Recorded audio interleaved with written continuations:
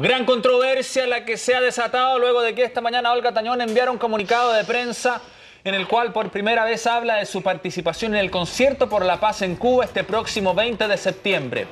Esta es la primera vez que Olga habla sobre este tema y su carta dice así.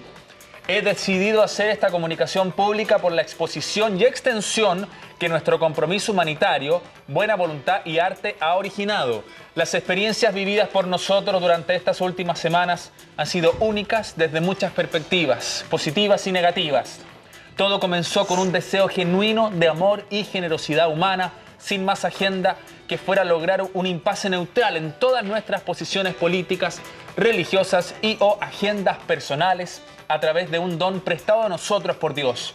De la misma forma que muestran amor y generosidad miles de cubanos, dominicanos, mexicanos, puertorriqueños, en fin, todos los que han y envían diariamente cartas de amor, dinero, alimentos, jabón, ropa, zapatos y más a familiares, amigos e inclusive desconocidos a Cuba, nosotros solo queremos entregar don en un día especial solo de amor y música. Juanes y yo, como muchos otros artistas, hemos compartido el regalo de nuestra voz y nuestra música por todos los pueblos que nos han invitado.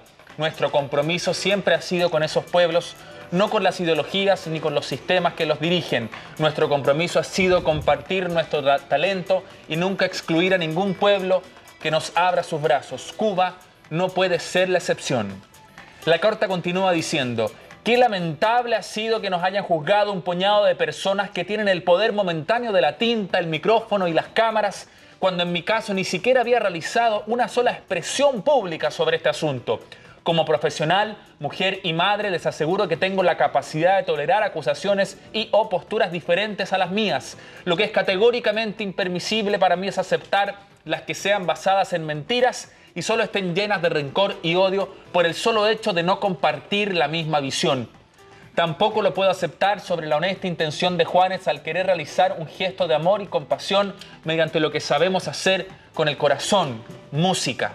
Reconozco que el tema político de Cuba a través de la historia es uno sumamente delicado, complejo, lleno de sentimientos y visiones diferentes, por eso siempre lo he respetado y nunca me he involucrado en el mismo. Por ese mismo respeto fue que apoyé a mi amigo Juanes en esta valiente propuesta. Mi propósito nunca ha sido ni será intervenir en este asunto, sino entrar en, en comunión con el pueblo cubano a través de la música. La música es la que teje las almas de la humanidad y nosotros los artistas somos tan solo los instrumentos. Respetuosamente, firma Olga Tañón.